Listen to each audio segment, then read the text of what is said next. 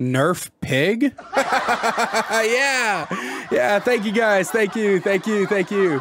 Yeah, funniest YouTuber in the Dead by Daylight community right here. thank you. Yeah, absolutely. I'll be here all week. That's an overused joke or anything. I never saw any of the Saw movies. saw the Saw. I'll be here all week. That's not true. I think I hazily remember bits and pieces of the first movie because my dad was watching it in the same room as me while I was reading a book. All I remember is, I want to play a game. And the reveal that the Jigsaw Killer was actually some old dude with cancer trying to teach life lessons or something. I don't know. I do know one thing, though. It's got to be a right pain in the ass to continuously come up with different traps movie after movie. It's no wonder they took like a three or five year break at one point. I mean, even I get creatively bankrupt from time to time. Do you know how exhausting it is to come up with a different way to make fun of my fat belly, bald head, and small dick while simultaneously trying to convince you all that I'm worthy of love when I'm actually not? Uh, by the way, it's not the jiggle gut, chrome dome, or microscopic hole finder that makes me unworthy of love. It's the experiments that I keep in my basement. Shut up down there! But regardless, I think it's good when it came to making a Saw chapter that Behaviour chose Amanda, the pig mask wearing assistant to Jigsaw himself. I mean, what the fuck was Jigsaw gonna do? Stare at the survivors all match until every gen was done, then chase them down with some mediocre power that might be good in some situations if the survivors have trouble navigating basic loops, and spent all match shoving crayons up their nose, while the player base begs and begs for Behaviour to improve his power to not be so mind-numbingly slow and actually have an impact on the game. Oh, hey, Myers, what are you doing here?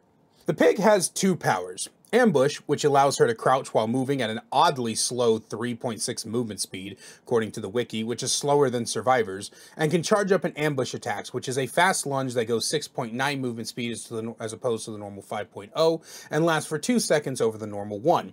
The ambush is fine, I guess. I really don't understand why the crouch movement isn't 4.0 or 4.2 at the very least. I guess it's because they don't want you to be able to do it in chase, but like I don't personally see anything wrong with that. I feel like giving her a chase power isn't that game breaking, especially seeing as how I'm about to rip apart her god awful secondary power. The reverse bear trap, or as sane people call them, the head traps or party hats if you're a troll and unfunny. Yeah, I said it. Come at me, bitches. Okay, so this is about to get really technical and boring, but I can't take the piss unless I break it all down, so bear with me.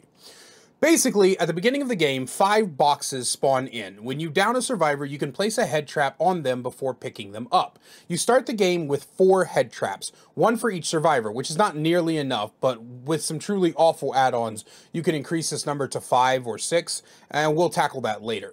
Now for the complicated, boring part. When you spawn into the game, a number correlating to the number of traps you bring is taken and then split among the traps. Each trap equates to a factor of three. The standard four four traps mean you have a pool of 12 to choose from. Five traps equals 15, six equals 18, and if you bring the red letter add-on, you reduce your traps to two, so you have a pool of six. From there, every time you place a trap, that trap then has a number assigned to it from the pool. It can be one search or four searches, but never five. The number is unknown to both the survivor and the killer until the survivor actually gets the trap off of their head. Basically, it seems like each box you search is a predetermined box, but instead it's a predetermined number of boxes that you much search. Jesus, even I'm falling asleep reading this. So, um, Nerf pig.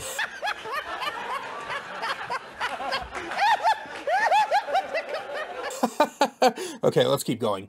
Each box takes 12 seconds to search without add-ons, and a head trap takes 150 seconds or two and a half minutes to blow up. This seems incredibly stupid, and that's because it is. The idea here is that factoring in travel time, the survivor should almost die to the head trap, assuming they don't get it on the, their first or second search. But because searches can be the first or second, then chances are only one survivor is ever going to narrowly avoid getting their head exploded. Now, the cool thing is, is if the exit gates are open, the survivors with an active head trap cannot leave the trial, or they'll die. Wait, active?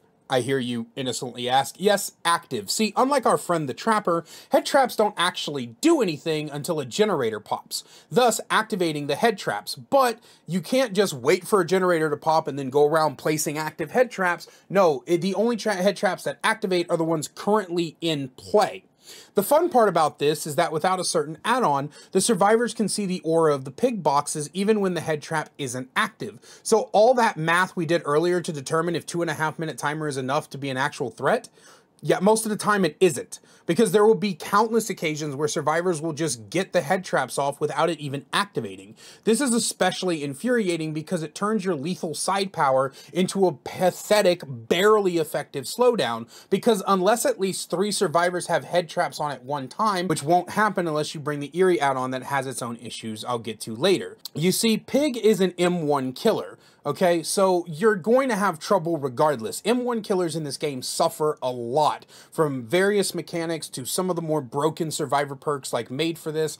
It's very, very difficult for M1 killers to get a step ahead, and it's very often the reason that M1 killers with no chase power are very often tossed to the wayside and considered to be lower than B tier in almost every instances. So very often you'll down some jackass, mount them, give them a fashion accessory, hook them, go M-way your one to another survivor, get get pallet stunned 75 times, get that person down, and by the time you've completed the process with them, the other jackass has their head trap off, three gens have been completed, and you can bet your sweet ass that the most recent gen popped right before you were able to slam down another head trap, so now you won't get an activation on this one either. Also, as a quick aside, I don't take issue with the following, but head, active head trap timers do not decrease while the survivor is in chase on the ground or on a hook.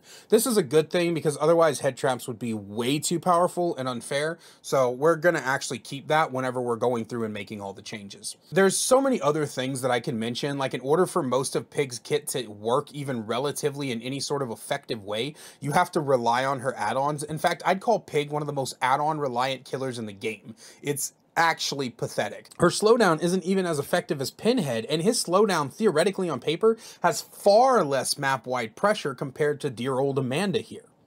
Okay, so how do we fix all of this? Well, it's gonna get really deep, so grab your snorkel and cave diving buddy and let's get into it. To start, let's tackle the ambush. Move the crouch speed up to a 4.1 base, slightly faster than the survivor, but not fast enough that you can catch them without the ambush.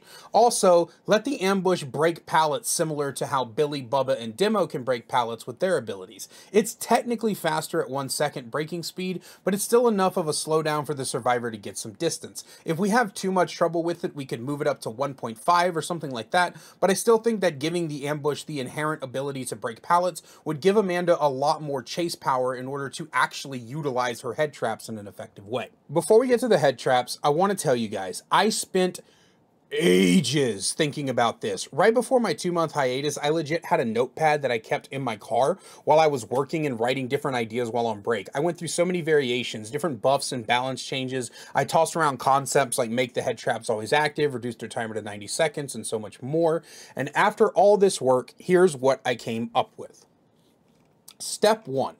Base kit should be 6 head traps. 4 is too small of a number and is often useless.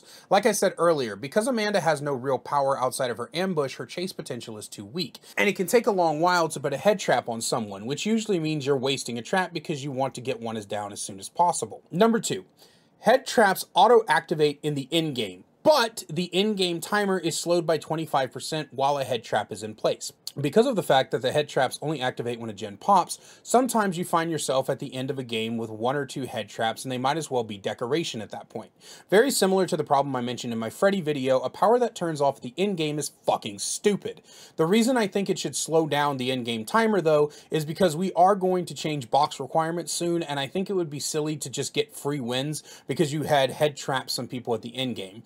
That being said, if a 25% slowdown isn't enough, we could reasonably bump it to 40 maybe 50 in a pinch, but I think 35 might actually be the sweet spot. The point of this is to create a powerful enough end game without being necessarily a free win. 3. All head traps, regardless of when and where they were placed, take four searches to get off. I'm sorry, but I simply do not see the godforsaken point of letting survivors get a head trap off after one or two searches. It's simply stupid. I don't care if it fits the Saw theme to have it at a random chance. In game balance, adding this weird ass RNG concept just ruins Pig's potential. We can keep five boxes on the map, fucking bump it to six if you really want to, I guess, to prevent body blocking. And in fact, I would even say you could turn off pig collision near pig boxes to let survivors search them when she's attempting to body block. Actually, as I'm writing this, I think that to further prevent box camping, search progress on that specific box should be saved if a pig downs you. Downs, not injures, downs you while you're searching the box. This should hopefully prove to be fair. 4. Head traps now activate not only when a gen is completed, but also if a totem is cleansed. I think adding an additional objective could lead to more fluid matches where there's always an additional risk involved, and I also personally think Hex Pig would be funny as fuck. Number 5. Make the rule number two add-on base kit. I see no godforsaken reason why the survivors should get the chance to get pig traps off before they are active. It's just a further weakness for no apparent reason, and this change further removes her reliancy on add-ons. 6. Make searching boxes take 15 seconds, and increase the skill check chance from 80% to just a solid 1 every 5 seconds. This makes searching boxes have more risk, and to compensate, we can raise the head trap timer to 180 seconds. And finally, 7. Make interlocking razor base kit. If you miss a skill check while injured, you get deep wounded. With the power all caught up, it's time to take a stronger look at add-ons. Since I made rule number 2 base kit, I want to start with this one. The new effect will now read, when a head trap becomes active, pig box auras will not reveal themselves for 5 seconds. It's not very powerful, but can be a fun factor in delaying the search. Interlocking Razor now makes the survivor scream and reveal their location for one second when they miss a skill check while searching a pig box. Jigsaw's sketch is somehow worse than its green counterpart, Jigsaw's annotated plan. So let's change its second effect. While it still increases your available head traps by 1, it will now increase the timer of head traps by 25 seconds, but forces survivors to search all 5 boxes to get the trap off. Finally, we have the Iri add-ons, and while these aren't the worst Iri add-ons in the game, I say as I make a mental note to add Pyramid Head to the list of killers that need fixing, they are still pretty bad. With the now increased head traps I've given in this rework, Amanda's Letter will now remove 3 head traps from your starting pool, but on top of showing auras when you're crouched, the add-on now charges the ambush 15% faster. For the videotape, I think having all the survivors start with head trap is great, but it removes them from your starting pool and its current state, and I don't think that should be the case. To counterbalance keeping all your traps, though, I think that increasing the trap, the pop timer of all head traps in this trial to 200 seconds is a fine trade-off. And that's the video, guys. I'm sorry this took so long, and to that one person who keeps asking about a Trickster video, it's next on my how to fix docket, but I need my normal two to three video break before I tackle that. All in all, I hope this seems reasonable to you guys, and I feel like with each of these, I'm getting better and better and recognizing how to counterbalance instead of giving straight buffs or weak killers. Maybe someday I'll revisit my Trapper video and do it not so shit. But other than that, I hope you guys have a fantastic day. I love you all so much, and I'll see you in the next one.